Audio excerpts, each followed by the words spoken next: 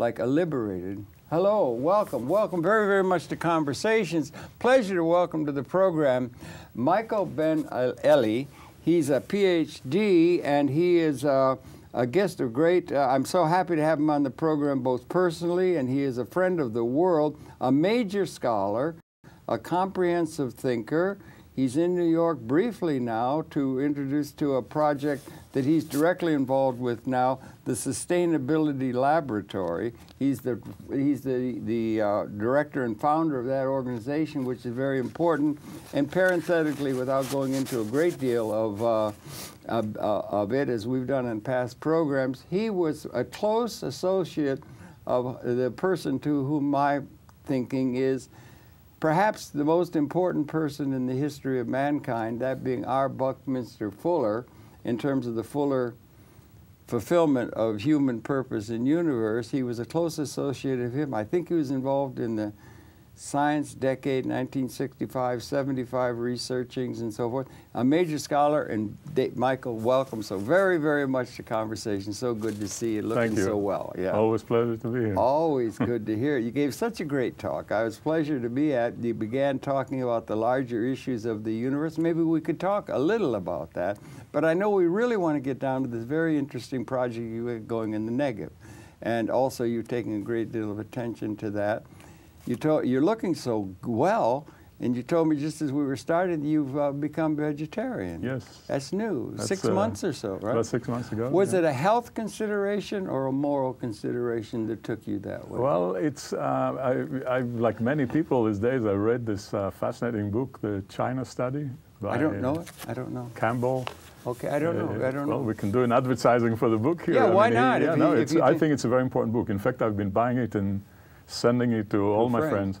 Uh, this is a result of 40 years of research yeah. on the connection between nutrition and health. Okay. And what come uh, around the world with yes. different populations everywhere. Yes. It's called the China studies because uh, apparently the largest study that they were able to do was in China. Okay. Largest in the sense of number of people and time uh -huh. and uh, different uh, zones and so forth. Yeah. And what their statistics show quite irrefutably, I mean, the correlations are unbelievable, is mm. that they the, the, the, the real connection between all the diseases of affluence, all the diseases of modern society, all the different heart conditions, many of the cancers, right. Alzheimer, all the inflammation stuff, uh -huh. obesity, uh, yeah uh, diabetes and so on are directly connected to intake of animals protein. I'll be darned. I and, haven't heard uh, of it. Uh, it's, a, it's, it's majorly distributed around the world, this book. Very compelling. And what is it called? Say it again. Let people know. Yeah. The China Study. The China Study. Is there an author connected with it? An author. The author, of course, is Campbell. Dr. Campbell is associated with Cornell. Okay. He's a senior researcher, obviously, he's done. And this is a, a compilation of 40 years of of, uh, of studies around the world. Oh, wow, that's it. I, am going to be going to that right away. You, you should, know. I think. Everybody yeah. else, it's really amazing. It's very compelling in thing. So I said to myself, like, I like adventures, and yeah. I, would give it a try. And for uh -huh. about a month, I started it. And uh -huh. I, in no time at all, I felt such a huge difference in my level of energy and the way my body feels that I decided to stick with it, and it's been uh, no going back ever since. I'll be darned. That's interesting. You think we're genetically suited for that? I always thought we were omnivores, or not, you know, but, you know. And I can remember Bucky Fuller one time when he wanted to lose a little weight, he was eating nothing but beef. Actually, he was eating nothing but beef, Beef and yeah, tea, yeah, and yeah, he thought it was like an Atkins thing, you know. So there may be still arguments about the uh-huh. issue. I, I, again, I found the evidence that was presented there uh-huh. compelling uh, intellectually. Sure. Okay. And it was powerful enough to really kind of make the coin drop for me. And uh, and that. But incidentally, yeah. uh, interestingly enough, mm-hmm. it was coincidental. Just about a week or so ago. Mm-hmm. I went for uh, an annual checkup yes, uh, with uh-huh. my physician, yeah. which I don't do often enough. Right. But the again, the, the numbers that came out are so significantly different than uh, Positive two years on, ago. on cholesterol and, and all that kind of cholesterol and, and, and all, all, all the vital And you've been doing about six months, you say, yeah? Uh, about six or seven months now. Okay, yeah. good. Okay, well, it's So- worth a try. it's good. Well, I'll tell you something. You're doing something right. You're looking great. I'm, I'm happy with it. Yeah, and you're here now and everything. I think it's worthwhile talking a little bit because you gave a presentation that I was in tra- transfixed with the whole through the whole thing. It could have gone on for five hours because it was so damned interesting. It really was. But you began talking about uh, the the scope of the universe and the big picture and where do we fit in. And I understand you've uh, given thought and you studied as a younger man the evolution itself within a uh, cyber, with the cybernetic connection. These are always very these are very au courant things. But maybe you could we could talk a little bit about that and and Bucky a little bit, and then we want to get down to a good deal of our talk being about the sustainable project you're you're you're involved in. But Very good. what do you think? You you started off your talk talking about the big issue. I you had a picture of the universe, and I don't know if you'd reference the Wilkinson. Uni- anyway, you're involved with the big picture. Well, the, the, this is, of course, something that Bucky used to always Yeah. say when I start with the bigger picture. So when you look at the context, uh, and the context is very nicely provided these days by those magnificent uh, photographs, Mm-hmm. Yeah, pictures sh- that are coming from the Hubble telescope. You you showed those, and also the Wilkinson, uh, the WMAP. Yeah. They got we got a picture of the Big Bang shock wave only 200,000 300,000 years after its existence, 13.7 billion years ago. Staggering. And there's Lisa or Liza. It's a, a, a connected with CERN, I think, and they were going to get a picture of it. I don't think they got final financing, but it's in place. They'll get a picture of the shock wave of the Big Bang 13.7 billion years ago within a nanosecond of its occurrence. And uh, of course, what we're looking at when we look at those distances, we're looking at the past. Yeah, yeah. And one of the photographs that we looked at there was actually a snapshot of the cosmos about 400 years, 400 million years after the Big Bang itself. right, right, right. Uh, Uh, But the point is that when you look at those gigantic, uh, amazing constellation, amazing thing, you see all these areas in the universe. We have those gigantic star dusts, uh, uh, Yeah. uh, uh, uh, dusts of uh, that are shaped by ultraviolet lights and sort of gas clouds and so on. Yeah. Uh, and you realize that these are regions that uh, where stars are constantly being formed. These are major factories. These Yeah. are laboratories, if you like where, where gigantic things are being formed all the time. So Yeah. we get a picture here of a hugely dynamic Yeah. affair that is never at rest, that things always transform and intertransform. That's right. And, and so on. So it's like a, a, a gigantic kaleidoscope. You look Yeah. at that kaleidoscope and you see Right, all right, the things transforming right. into each That's a other, good becoming metaphor, one thing becoming to another and so on. And so there is a sense when you think about it that wh- what you're looking at is uh, two different kind of processes. okay. There are processes of diffusion, Yeah. uh, increasing entropy everywhere. yeah, yeah. yeah. Second law of thermodynamics. Like the sun, our sun that burns Yeah. itself out. Yeah, yeah. And of course, there are regions in the cosmos where things are being consolidated. yeah. And order is increasingly increased. Isn't that what Bucky Uh, said? He thought the biological process was was possibly a synergetic or syntropic or anti-entropic function that moves that. across entropy Exactly and that. brings increased conscious pattern of understanding of the uh, of the universe in which we, we, we exist. And the fact that we're able to take a picture of the shock wave 13.7 billion years ago is a pretty interesting ability given our long sweep of history Well, we- we'll talk to take this. the measure of things. We'll you talk know? the- the- in a minute about this, but what is happening here, if, if you look at this notion of areas of consolidation of energies, Yeah. clearly the Earth, in our familiar uh, neighborhood, so Yeah, to speak, is yeah. one of the most outstanding examples. If maybe the only. I don't know. SETI notwithstanding. Maybe only, maybe not, but uh, whether it is or it's not, it is a case where energies are being compounded Yeah. and an increase in order manifests itself through the formation of, uh, of organic And molecule, Yeah. all kinds of forms of life, life Right. itself, ecosystems, everything Right. that we're familiar with. Yeah, Complexification in the sense of uh, Right. Teilhard de Chardin is what Yeah. Chardin was wonderful. Completely Yeah. so. You yeah. never had any truck with him or anything. You wouldn't have known him. Oh, no, or no, no, I was he too was young young. yeah. Yeah, yeah, yeah. He had a lot of But I trouble with the uh, Catholic he- Church. His work influenced me a great deal. Yeah, yeah, and me, and me too. He had the Omega, Omega, Omega. Were and and, and we're what did he say? We're compressing. No, what was the term he used? We were. He was a major force. Yeah, he was a jet. So was, to- Yeah, go ahead. To, yeah. to come back to it, uh, Yeah. I want to make the differentiation between uh, diffusion and entropy Yeah. and increasing order and complexification. And uh, so wh- wh- when you look at that picture here, you see basically that reality is in a constant process of reordering itself, ordering and reordering The itself. evolutionary process is expressing is being expressing expressed. itself through Yeah. all these uh, Right, dynamics. Right. Uh, and it's clear that the human activities, human potentials, human activities are part of this gigantic self-organizing system. Okay. We are basically Right. agents of a particular part of these transformations. Yeah, and then we're and coming evolution. and we're coming to understand that.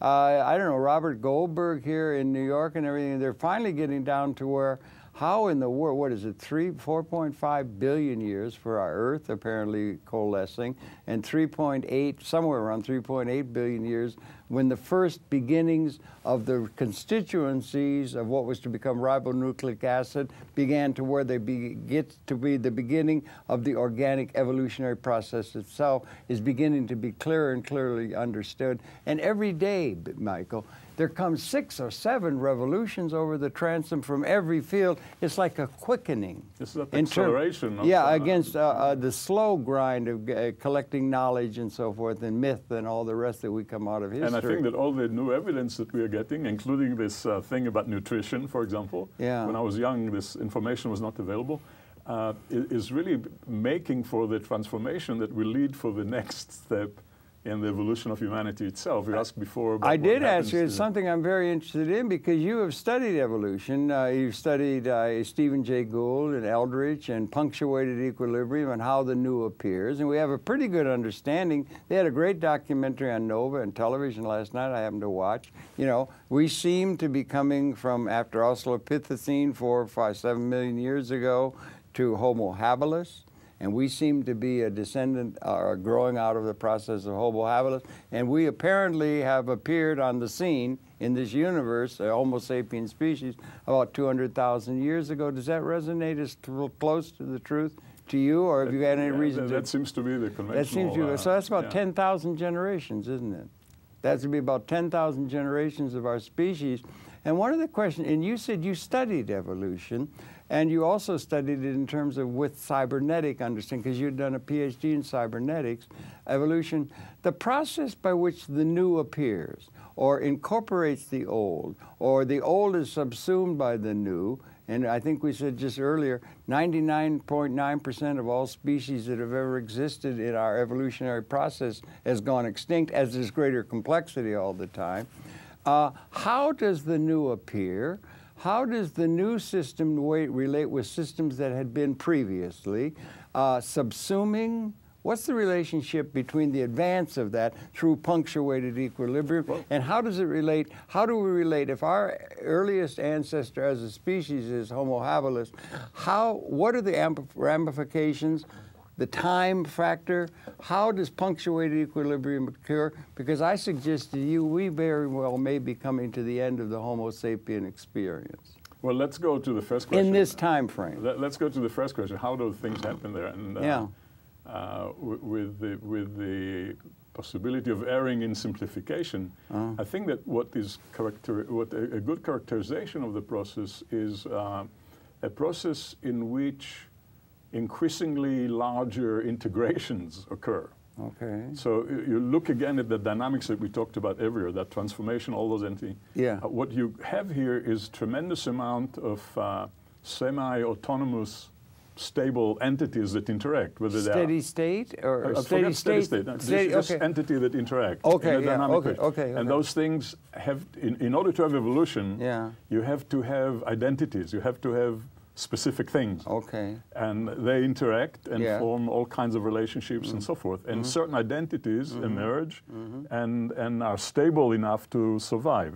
In other Oh, words, they are selected Yeah. for some advantage. Right. Now, the context of their existence uh-huh. may Uh-huh. change because mm. of those dynamic thing that the kaleidoscope that we're talking about. Yeah. And there has to be a response.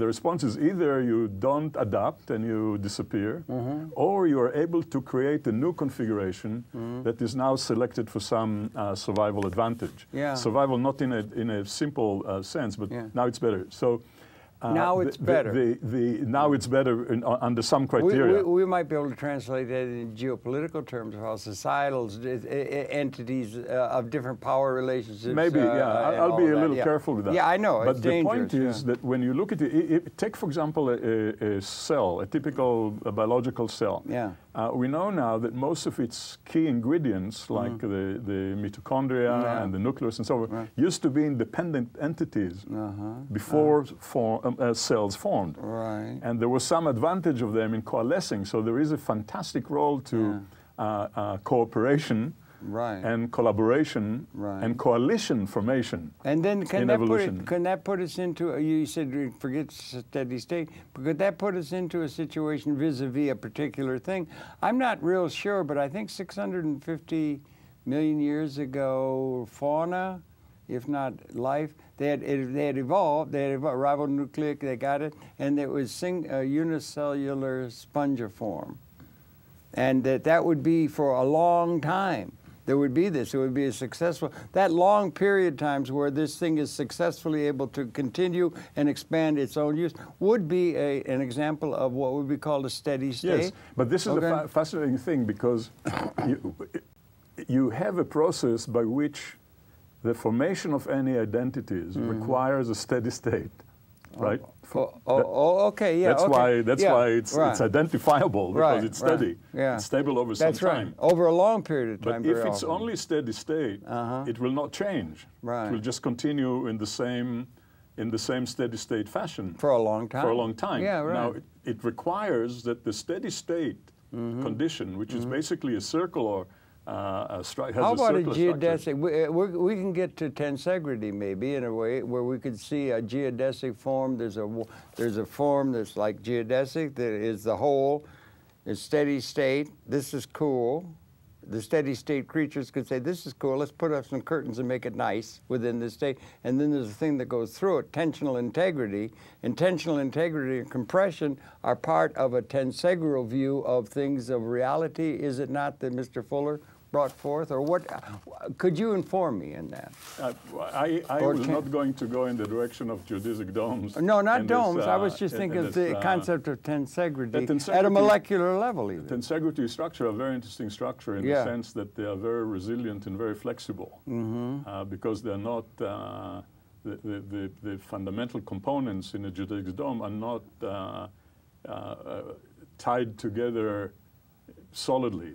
Uh, right, Because right. the compression members are connected by tensile forces, Right. they have tremendous amount of give and take, and they're very interesting structures. But the example I was thinking, steady state. So here's this thing, uh, and it's going, and then there's this thing. This would be like a male function or something, or something where you're, you say, is moving through the whole and wants to inform the whole new. And when that new form is is reached tensegrally or something in terms of an evolutionary context, that's when the new appears. If it's related to evolutionary transformation, punctuated equilibrium, they brand all the varieties. I, I personally, again, Maybe I I'm going overboard, or I'm not right, You're or not I'm going ignorant. overboard, but personally, my, I, I would not use that as an example for evolution. Uh-huh. Um, but certainly there is uh, an aspect of which it could be a very nice metaphor. Metaphor, that's for what example, I think I was uh, reaching for. Yeah. You've got some possibilities of starting with a with a tetrahedron Yeah. and evolving into into an octahedron and an icosahedron and so and, and Mm. Yeah. so forth. So there Yeah. is an evolution, Yeah. a structural evolution from Uh-huh. a simple form to a more elaborate form. Right. But I think that what we see in evolution in in, uh, in organic life Yeah. and in social life and in evolution of ideas and so is so far more richer than that particular situation that is Uh-huh. basically still a, a prisoner of its own geometry. I see. Yeah. Uh, okay. so yeah. Yeah. What yeah. was happening in those coalition formation that we talked about is Uh-huh. that entities that did not were not integrated as one Uh-huh. such new entity before are now coming together for some advantage. They form a new entity that has more powerful, more effective in some uh, under some particular uh, circumstance. And this process has some logic to it, and you can see how. Uh, the forma- you, you have a formation of increasingly more complex entities, Yeah. biological entities. Uh, then there's within the biological realm itself, there's always a- an increasing ways of, of, of increasing the internal variety Uh-huh. of such system. For example, amplifying its variety, which makes it more versatile. Yeah. For example, Complexity, by, uh, in- in- increased in complexity, yeah, by yeah. introducing uh, uh, sexual reproduction, for example. Yeah, right, right, That now right. allows for uh, mixing of genes and so forth. right. It's not just the same gene Right. that is being spliced. Right. Uh, you have the formation of societies where individuals can cooperate whether they're ant societies or human societies or whatever. We- we- we could try to make cre- these- th- th- yeah. they- they create more and more uh, complex organizations. I think it'd be interesting trying to connect these uh, these ex- examples of societal organization with biological processes and nature. It would be interesting to study that as one. It's the same process. Yeah, It's the same process. Okay, The- we- it's we- important to your work, I know, It- and it's it's, important to us understanding it. It's yeah. completely the same process in the same in the sense that uh, from a systems point of view, Yes, from uh-huh. a cybernetic point of view, Right. Mm. there's the same logic that is exhibited throughout the levels of emergence.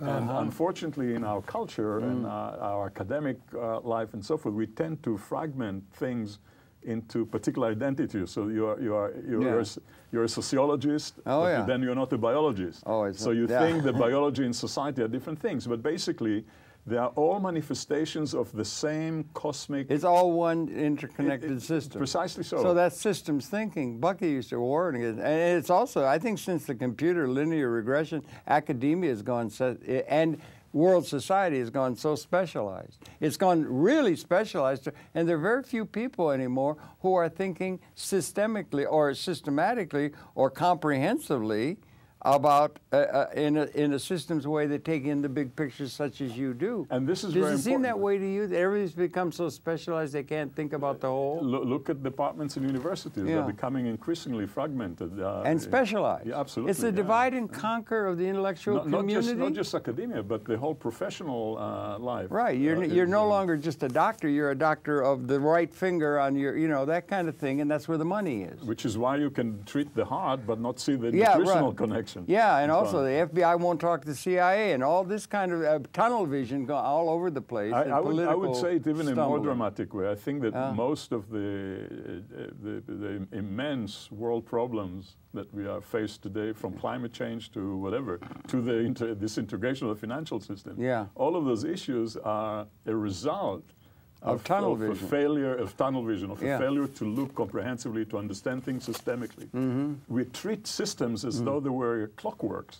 Yeah, uh-huh, yeah, We- yeah. We have yeah. a very mechanistic, linear way of looking at things, Uh-huh, uh-huh. and those things are not linear. They're not mechanistic. right. They are they are uh, organic. They are uh, they Yeah. are interactive. They Right. are mutually dependent. They are everything but Yeah. a linear kind of process. Yeah, right. It's interesting Uh, too. I use the example. I don't know. I think I'm off base, but I understand there's something in an or, human organism. I use it a lot. Human organism, something like hundred trillion cells, including in the gut and bacteria. And I know we all walk around in the sea of bacteria. Hundred trillion. Every cell matters. Every cell's connected and communicating with every other cell in a systems way.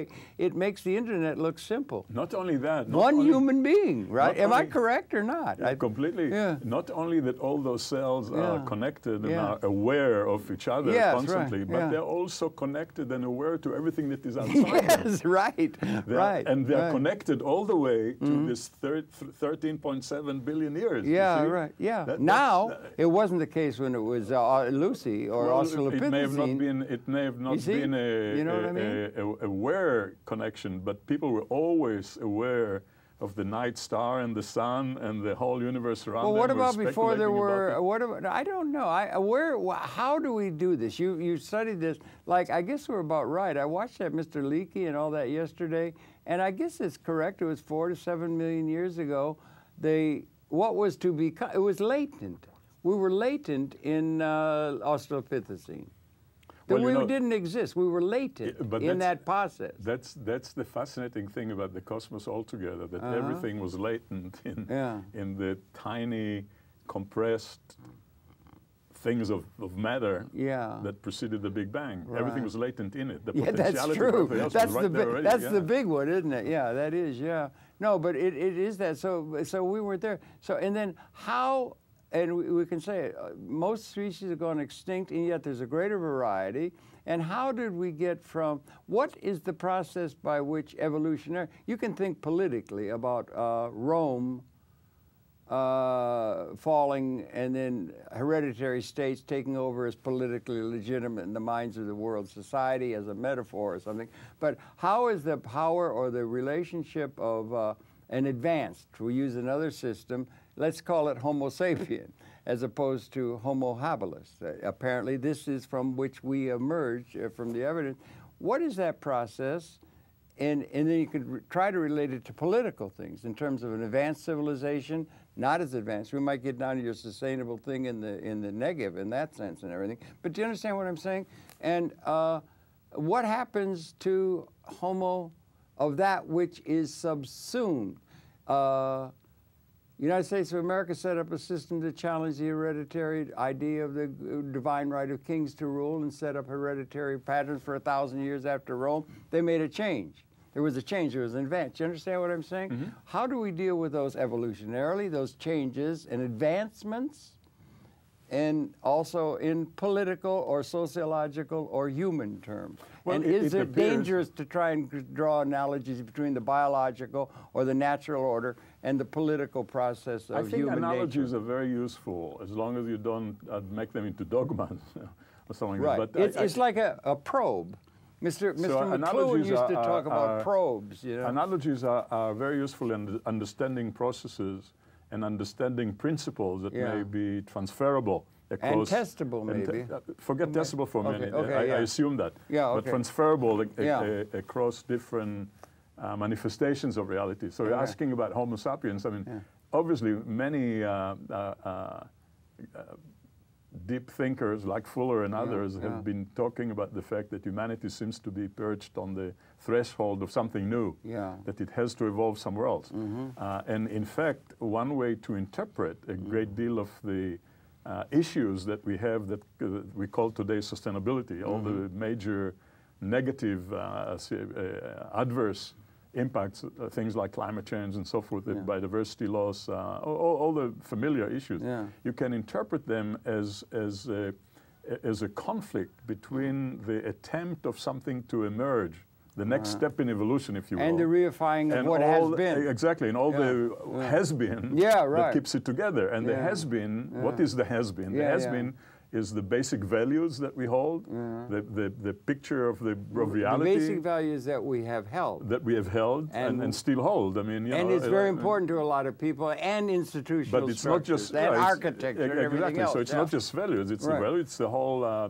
a view of the world. Yeah, right. Uh, it's the institution the that we have, the governance, the, the, way we make decisions. Exactly. Yeah. Uh, what we hold uh, right. as dear, what are the priorities right. and allocation of resources, anything right. that, all of those kind of things. Right, so you are. we've got tremendous amount of mechanisms, -huh. of institutions, of mm. machinery mm -hmm. that was well adapted to a steady state. Yeah, you talked about before that that was that was okay ten thousand years ago. Yeah, but then there's a change. But then and now call it is a change. punctuated equilibrium. Precisely, and the, and the real and, mm and the real challenge mm -hmm. is to make that transition, to be aware of what is mm-hmm. happening, mm-hmm. understand what needs to be done, so to mm-hmm. speak, and be part of that transition of navigating rather yeah. than let it hit. And this is where, again, Bucky and many others said this is touch and go. Yeah. There's no It will guarantee. be, he said touch and go right up to the final moment. We're still approaching the final moment, yes. are we not?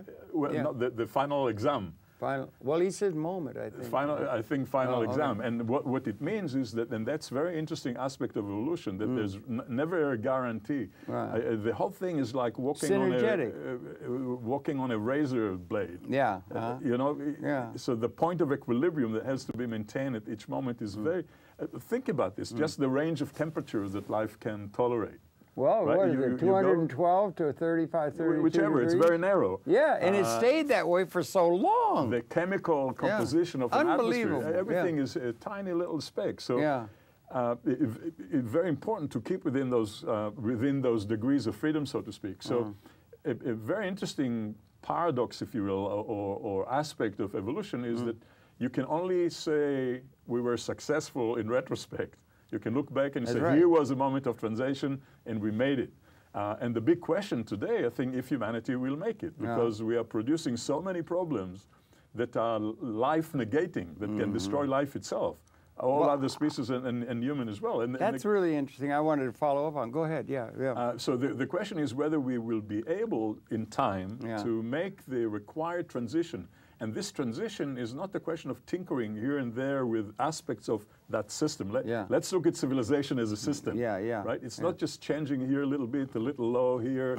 we'll change this. Yeah, we'll get a car yeah. from a from a fossil fuel driven to a hybrid. This is Yeah. nonsense. The whole thing has to be transformed. That's quantitative change. And it's a quantitative change. It's what some people uh, talk, uh, call it uh, second order change, Yeah, where uh-huh. the change has to occur not only in fundamental components of the system Right. Without changing the system itself, but the system, it's a whole decision rule. Well, that uh, question be, of uh, how much we, we were saying we're reifying outdated, in, they become outdated in time, and but the institutions are very important to people's identities. They anchor. We do have to anchor. It's talking politically now. We do have to anchor to history.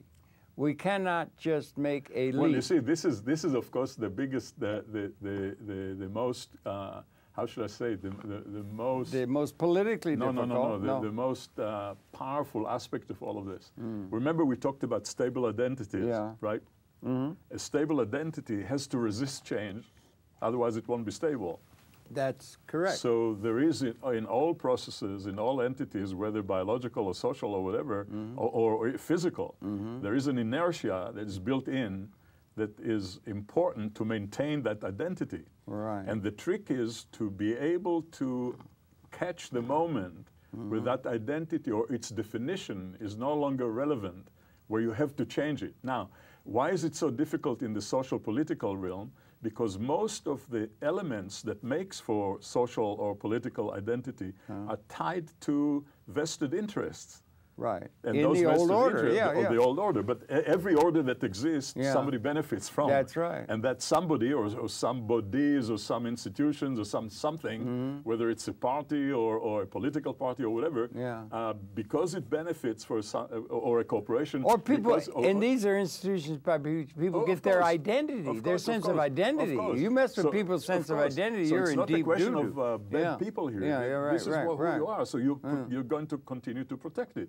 So within that system, there is a tension between the need to change and the requirement to conserve. Exactly. And, yeah. and again, the question is always whether the conservative elements, uh, sometimes the conservative element is very important. Let's Yeah. look at an example. If you take the Egyptian civilization, for example, uh, or any Aboriginal, this is a complete uh, different, an Aboriginal group that is well adapted to its environment. Yeah. In both cases, you have a very stable, long period of time. Right, right. And it took that system a long time to learn from its experience Uh-huh. what works and what doesn't work. yes. So there is a huge premium that has to be put on not changing what we know works. Uh huh. so there are all these right. taboos against system uh, thinking differently, and any anybody who does think differently is looked at as social deviant and has to be exterminated or- Right. or, They pushed only- the way. ca- the because the system has to protect itself. Right, and it's important, and people have their identities again. And they only the Catholic Church only let Galileo off the hook about 12 years ago for So- saying we weren't the center of the universe. So and the- they're imbued in a sense of creationism that has been part of answering their self-reflective consciousness of what it's all about, issues that are very, very important to the various cultures. Yes, but let's Yeah. keep let's keep with that uh, trajectory there. So Okay. you've got the, the conservative element is absolutely essential, but now comes a moment where that stable context. Yes. Mm-hmm. where the conservative knowledge exists and and works well, is not relevant anymore. And now, if Yeah. you are not able to free yourself from it and be creative and invent something new, Yeah. you're, you're going to have some big problems. And I said that's what's happening as a, to tie to what I was saying before. This is exactly what we're seeing today. Uh-huh. That we are producing gigantic, uh, uh, existent, threatening problems Mm-hmm. because we are continuing, driven by vested interests that are very well entrenched, on a path that leads straight into the wall. Uh, for so example, we're straight into the wall. yeah, you? like a train running Yeah. into a wall. Yeah, and you brought up before, you said uh, you were talking about the fact that uh, you could uh, threaten life or something. Uh, one of the one of the unique characteristics, it seems to me, I may be wrong, but you know, is of of the Homo sapien species is it's a unique capability to extend its consciousness into the environment through tools and technology and make the world other than, in an Eden-like sense, is the way most of the creatures confront it. Uh, you know, ants make whole uh, nests and birds make nests and things, but we really can. And one of the leading edges of all that since civilization has been political classes that want to get a political military advantage over the other tribe, and that's the, that's led that. And those weapon systems have gotten worse. Comes theory of relativity, special, general, teller. We get weapon systems that apparently have come to the point where if they were to be unleashed, as they have been, in a conquest attempt to become the winner, be above the law, set your own pattern and that kind of thing, conquer the other lesser peoples or lesser tribes or civilizations or something, that they become species lethal. I don't think we've got to the point yet where we can destroy life. But apparently we can for the first time, and it's within our lifetime, we can destroy the Homo sapiens species with the extended ability of human consciousness in its weapon systems that have but let you know, all the. Re- do you think that's true? I, I think that the, well, obviously, just you, all you have to do is to count the the number of nuclear uh, weapons that exist on the planet and how many they can explode the whole thing uh, over. Uh, but the interesting thing, of course, is that we've gone way beyond the threat of nuclear capability only well, there's to destroy germ life. warfare and no, no, no, no. Forget, forget the Oh, weaponry. this okay. is only this is only one part of the story. This Okay. is the, the the human stupidity to keep This is uh, the negative side, yeah. uh, investing in all its resources and all its best technology and best science in producing better and better and more lethal uh, combinations. But what has been happening recently and what we are suddenly beginning to understand uh, uh, the, the, the, focus on weapon on weapon of mass destruction was really belongs to the 60s, to the Cold War. What we are understanding now that it's not just the weapons, it's the way we live, the consumption of fossil fuels uh, that completely change the composition of the atmosphere and create climate change, which is, can create disasters bigger than and, and, uh, the, the, the way we decimate other species. The loss of biodiversity is Well, 10 times, not 10, uh, is, is a million-fold more dangerous than any, any nuclear weapon that we've ever devised. That's Why? very interesting. Why? to the existence of the Homo sapiens species? to the existence of everything. Why?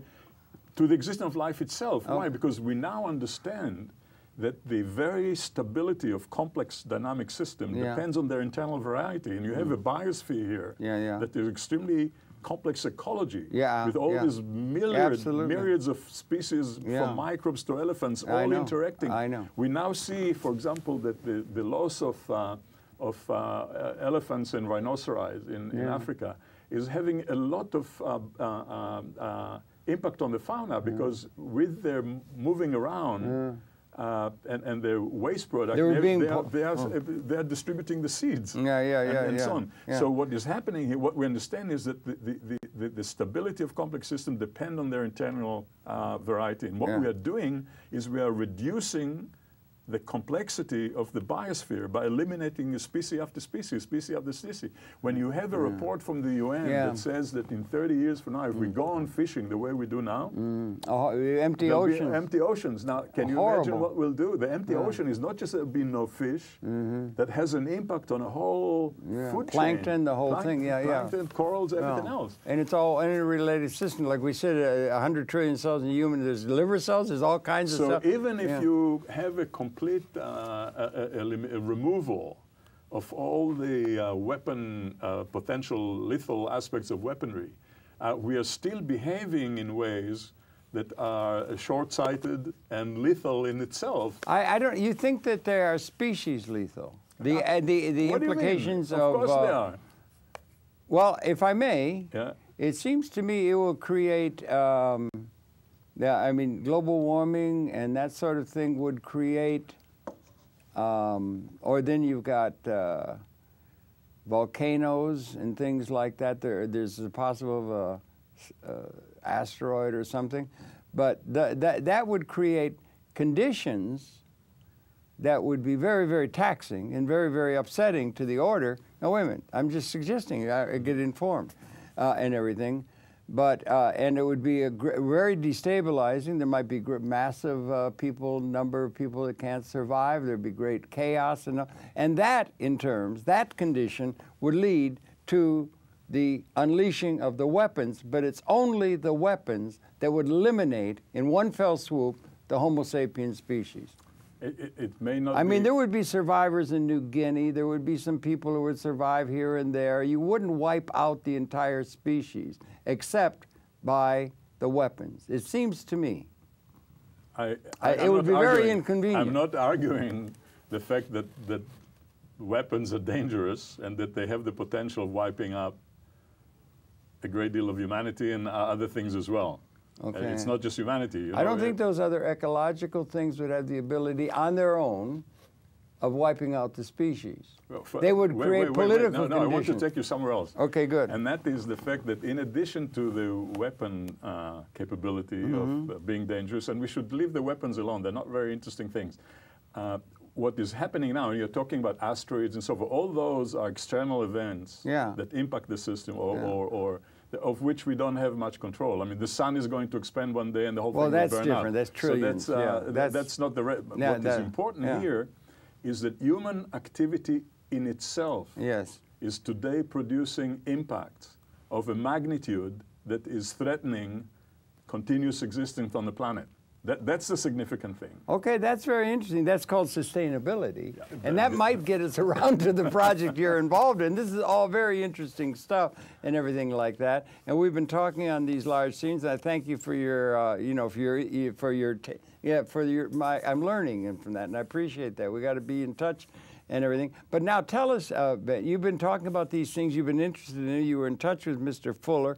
Mr. Fuller did that design science thing from 65 to, se- and he did a little graph where he thought we were gaining in the percentage of the world population that through ephemeralization, doing more with less through good design, the percentage of the world population that could be seen in a context of capability was increasing to where it was going to cross the 50% mark along about 1970. That's when the weapons became species lethal, not the First World War. We were protected in the Second World War. Trying to get a time frame for this thing. We did a program with Isaac Asimov. He said, This is the defining generation.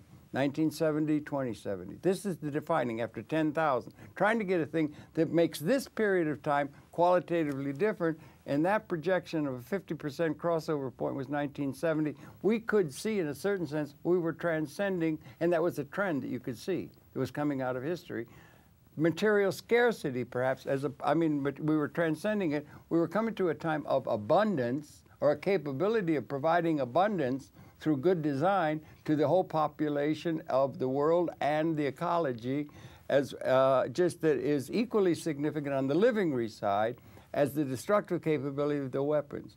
What do you make of that? Well, I mean, that's obviously the hopeful trend, but uh, I think what we've what we are seeing uh, at the moment is that the, the promise is there, The, the, the capability. the capability. We were talking about latent energy or the, something. the you know. capability and the promise continues to be there. But as I uh, tried to argue uh, earlier, there's a great deal of forces that are standing in the way. Yeah, yeah, the, the And forces. It's very important to make it be realized. You see, we, we are facing a challenge that is unprecedented in, in the whole history of humanity, and that is Right. how to manage the world resources Right. with 9 billion people. There, there's, Nine heading for 10, I think. uh, yeah, it's going to level off. That's the UN again, says, it doesn't think. matter, as I was trying to argue in the Yeah. thing, whether it's nine and a half or 10. The Yeah. point is that the difference is between less than a billion Yeah, to right. 9 billion. Yeah, That's right. It's already- been less than a billion that, forever. That's suddenly Yeah, huge, yeah, huge. right, So exactly, No one knows. Yeah. Mm-hmm. There's no one, no expert, no no government, no president. Mm-hmm. no one, no heads of bank, no one understands how to manage nine billion people with the resources of the planet. Well- and certainly all the processes that we have now in place that drive the economy and so forth Mm-hmm. indicate to us that if we, and, and quite a few researchers have been talking about this, that if we go at the rate of consumption of resources in order to satisfy the, the, the, the better lifestyle for everybody, and if we ah. do it with the current way of doing things, we'll need ah. four planets. There was some So, hope. Yeah, so yeah. the, the, the, the, real question, the real challenge is a design challenge. That's Yes, where it connection exactly, Is how to use the world resources. That's where uh, Buck is doing more with less is so important. How That's very use, important principle. Should be understood. How to use the world resources Through good design. through good design Yeah. in much better ways. I mean, today Yeah. we know that our current, the current world economy based on fossil fuels Yeah. is extremely inefficient. It's Right. very wasteful. It's Right. very, uh, it's actually very entropic. Right. Mm. It's the other, it's precisely the, the opposite of good design. Right, In right. case of good design from what we started earlier, right? Yes, it's human right, intelligence right. being able to contribute to the consolidations of things, to the increase of order, Uh-huh. uh, and, and, and so on. So that's the function, perhaps, of humans in universe, right? Yeah, yeah. To become the anti-entropic uh, uh, force, Well, he, yeah, he. I think But, he said uh, the, the uh, whole uh, biological process was an anti-entropic function in the universe that moves across entropy. So there is a challenge here about Yeah. Mm. how to apply this intelligence to good design in order to reverse those uh, uh, adversely impacting processes. Yeah. Uh, and at the moment, it's clear that the mainstream of the economy, the mainstream of the uh, financial class. system, the banking system, Yeah. The mainstream of the political thing is still not in line. They're just reifying the outdated order, are exactly. they not? Yeah. Uh, it's it- it's still not in line with what has to happen. On the other hand, I can tell you from my own experience Yeah. that in the last 10, 15 years, Yes. the difference Uh-huh. in understanding, especially among young people and young professionals, Uh-huh. there's, an there's an explosion of uh, awareness and people leaving the old way of doing things Ah. and experimenting with new ways. I was trying to compare that to like I don't know I never birthed a baby like a lady, but it's like a quickening in a in a uh, when you're coming to something new, really new and qualitatively different, instead of quantitatively different. and someone- it seems to me if there could be grasped in the present consciousness, and he wanted to put together among other things, you had a hand in it with that design decade thing. He wanted to put together like an operating manual for a spaceship Earth, where you could get at a big systems understanding. You take the thing out of the box. This is how much is there. We would have an understanding of that, and that understanding could include an understanding of the potential that we actually have trans. There is enough through good design. We can take care of everybody. It's not, we're coming out of a situation of scarcity, realpolitik. Whoever's got the gun can conquer and win and be the winner and all that is a, a thing of scarcity. We've got a new ontologic reality at a level of capability, and it never seems to be mentioned or brought up on the table that maybe we've made a qualitative transformation and that there is enough. We've transcended scarcity would be a major thing of that, and we got a capable. So if there's enough, do you understand that that's a qualitative thing that should be mentioned once in a while, and it never is among the intellectual classes. They've all been co-opted from systems thinking by being specialized out on grants and tenure and getting money and making money You and all the other things. Let's go back to the China study. Right? Okay, yeah. And, and one of the questions that is raised there in the book, why is that knowledge about nutrition not being universally known? Well, we've had And- people who have been vegetarian. I, Yeah, I know. no, I got to see the book. different I, or I'm going to go. issue. Also, you see, And- Kurzweil. Kurzweil's got the book out with his guy who says you can live. He's uh, the, t- the you know they're understanding the telomeres or whatever is on the gene that you can live much longer. Uh, yeah, yeah, no, There's I'm, other I'm, again. I'm trying to say something else. Sorry, and that sorry, is that sorry, the sorry. reason why Yeah. Mm. you, you ask why it's not universally known that we've switched to a completely different possibility, and yet we are going with the old thing. Yeah. And I'm saying that in the in that I'm taking that as an example. that- Yeah. or if you just take nutrition as an example. Yeah, okay, yeah. So we know we now today we have a new uh, model, if you will, Right. for a healthy life. Right. And yet it's not yet a common knowledge. Okay. And if you ask why, Yeah. uh, the, the, one of the uh, speculative perhaps uh, thoughts in that book is Yeah. that most of the uh, experts that are called to advise governments Uh-huh. about nutrition and so forth are actually On the payroll of the on- agribusiness. if- and if not directly on the Yeah, payroll, they, yeah. they are part of Yeah. the existing system. Right, right, right. And those commissions have Yeah. representations from the meat packing industry Right, and right. the this industry and so forth. So these are not people who are bad people who are trying to uh, screw up everybody. Right, right. Uh, but they represent a certain way of way of looking things, Yeah. and they're just acting out what Yeah. they know. And what they know how to do. And what they a- know how to do well, is that's a- irrelevant. yeah, so right. we, we keep with the old stuff and so forth. So it's a gigantic educational. Well, it's not, it's, it's, it's not necessarily relevant because some of those things will anchor us to history. Some of it has to be done in a way. Again, I go back to how a new species appears or something. But there has to be a way that is in keeping. Nietzsche said the future influences the present as much as the past. We're reifying the past. It's a traditional thing, but that there's a capability that the, the, that the future requires or allows in a new way It's- from systems thinking. of and why doesn't that become more generally understood in the political realm or in the realm of geopolitical thinking and power structure and power uh, relations? very simple again. Look, if you look at the number of graduates every year from all the universities around the world, Yeah, all the schools, all Yeah, the different disciplines, how many of those are systems. are system thinkers? Very few. Very few. They've, So- they've divided and conquered the intellectual community, So- the bastards who run the And world. so that's the result that you get. Okay. Mm. You shouldn't be surprised. So this is why the role of education is so important. Yeah. Uh, both in increasing the capacity to think systemically, Yeah, right. But also in understanding the real significance of what's going on. yeah. Uh, if you look at the media, I mean, Mm. everybody is really dealing with sideshows. Don't miss out on public access, brother. This is going to be a major source. What do you All think? power to what do you, you think yeah. of the uh, What do you think of the Occupy movement that's shaping or trying to be born into this world? Well, I, I, I, uh, I have little to say about the occupation Just- itself and so yeah. Mm. on, but obviously what you have there from a bird's eye point of view Yeah. is a manifestation of, the, sy- of some elements of the system trying to say what we're doing is not right, we have to do it differently. And they may not know or anything, but at least I'm glad I lived long. I'm getting older. I'm glad I lived long enough to see this thing trying to be born. There you, know? go. This and it's going it. with Prout in India it. and all This this kind it. of stuff. Mm. So what we need to do is to try and uh, i- i- i- uh, try and increase the number of effective midwives to help it be born. Yeah. And that again means education, means better research about those uh, and Yeah, so forth. right. And that's why we established the sustainability laboratory. Maybe a better diet But, but for me.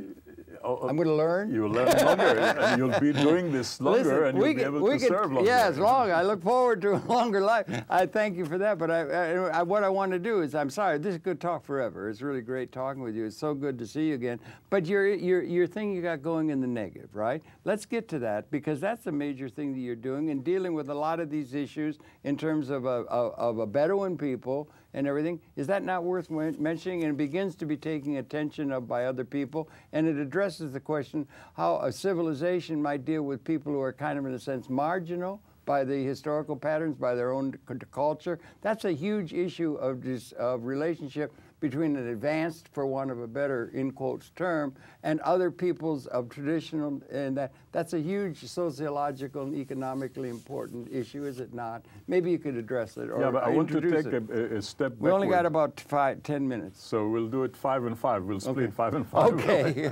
Uh, the first is to give the context for this. So, Please. Uh, some people participate in, in those. How do you call it? The the the, the Uh, General Assembly? no no no, the, the, um, the, the those walkouts or whatever.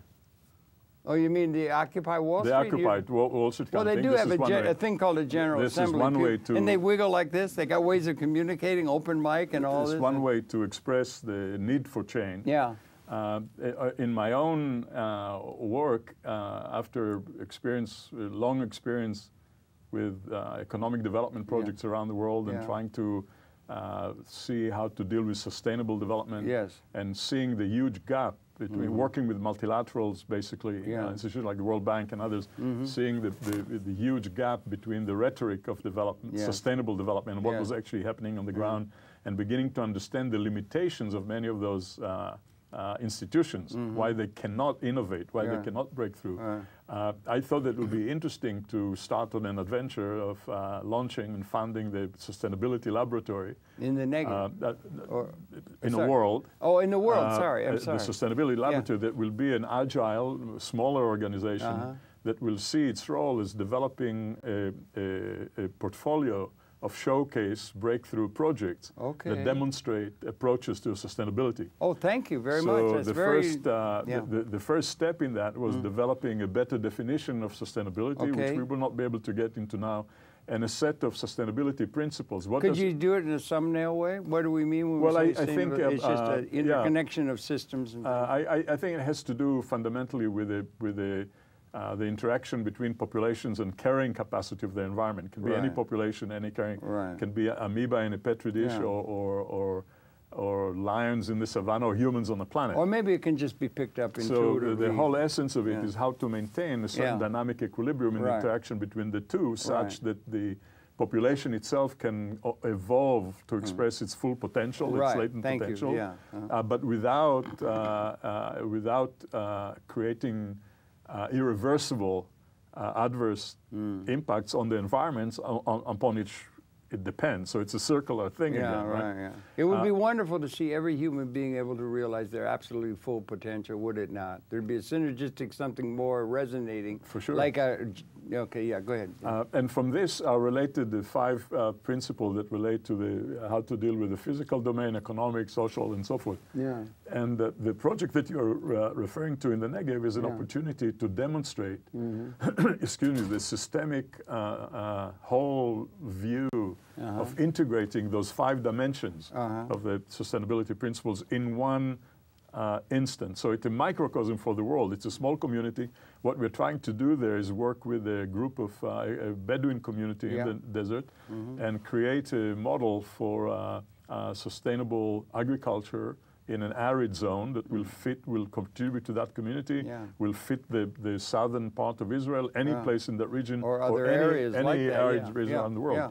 Uh, and the, the thing will be based on the experience, knowledge, tradition, aspirations of the Bedouin uh, community and the knowledge of the desert, Yeah. but really uh, amplified and leveraged tremendously by very advanced technologies. Uh, solar, uh, solar energy, uh, the way we treat water, the way we treat the soil, the soil enhancement uh, uh, project, and, and, and so on. Do you think the cultures like the Bedouin can survive a world of modern connection to the broader modern world that has all the advantages? Or what happens to the traditional cultures that are very rooted and their identities are wrapped up in, in when it encounters a system with autobahns and everything? Well, it changes. Yeah, uh, inevitably, yeah. it changes. And Uh, the- yeah, and the- well, you so the answer to your question is probably not, unless you can isolate Mm. a, a civilization uh, in, in uh, without any. Because there are values that are very intrinsic. So the those, question- uh, the- those- you know, like the American Indian people have of great course. traditions. So the, the, the, the, the real question there is Mm. how, not how to preserve it like in a zoo. a- Well, all- something, all- all right, But yeah, how yeah. to allow for Mm. it to evolve without Uh-huh. too much pain, because those transitions are very painful. Also, we can learn from those things more than we think, There's and so then that switches over into our touch to the ecology, Uh, completely, it not? In a, in a metaphor. Absolutely, Yeah. uh, uh, not just metaphorically. This is really in real. real because, uh, yeah, right. Uh-huh. Aboriginal societies like this have lived uh, for hundreds of thousands of years Yeah, with right. with a close contact to the world, right. And they were their way of life was sustainable Right. in that uh, in that sense. Exactly right. Uh, now, to answer your question again, I don't think that a nomadic way of life like the Bedouins lived for 100 years Uh. is possible in the modern context. Yeah. So they have to integrate into the economy wherever they are. It can that's be a, Israel, that's a be any- historical process, is it not? Uh, uh, By uh, uh, meeting of evolutionary, people, evolution, right. evolutionary. And so the, the real issue there, how to preserve the best, how Yeah. to learn from the best, Uh-huh. and integrate it And without- preserve the best and from there. preserve the best, but, And uh, and, and not use. to, it's not not, to conquer. not, not to not conquer to conquer for sure. or obliterate. Not or to conquer for There's sure. There's been too much of that, has there not that been was in the, the, colonial. Uh, that was That's the exactly colonial the colonial approach. Yeah, I'm whoever's got the gun run- yeah, right. I'm superior. That's These a very worrying thing. Completely. And here, I mean, I know from my own experience, there's so much that I could learn from my Bedouin colleagues. Yeah, it's, yeah. I, it's astounded. I mean, Right, it's a- absolutely. it's such a rich uh, and powerful tradition. One of the worst things about the whole universe and the world and all of that is there's only a limited amount of time. We've run out of time for this program. Mike. Thank you very so much. good to talk to you. We could go on talking 25 hours at the drop of a hat. Your pleasure. Have the perceptions of uh, Michael Ben-Eli, PhD, uh, colleague of Mr. Fuller. He's uh, very doing great work and everything, as you can see, on very important, crucial questions of the human condition. We're all looking forward to June 6th, where there's going to be a gathering of Buckminster Fuller fans uh, to celebrate the Design Science uh, Awards that are coming. And uh, thank you very, very much for such a very, very well led life. And thank you very much for coming in. Talk. Really good to see you as always, Michael. A pleasure to be with you, Ed. Thanks. Okay, thank you for viewing. We'll be coming back again uh, tomorrow. We just got started and we have to stop. Isn't that a pain in the neck? That's true for life itself. yeah, that's, a, that's you, a metaphor, it isn't take it? you 90 years to learn, Yes. and then boom,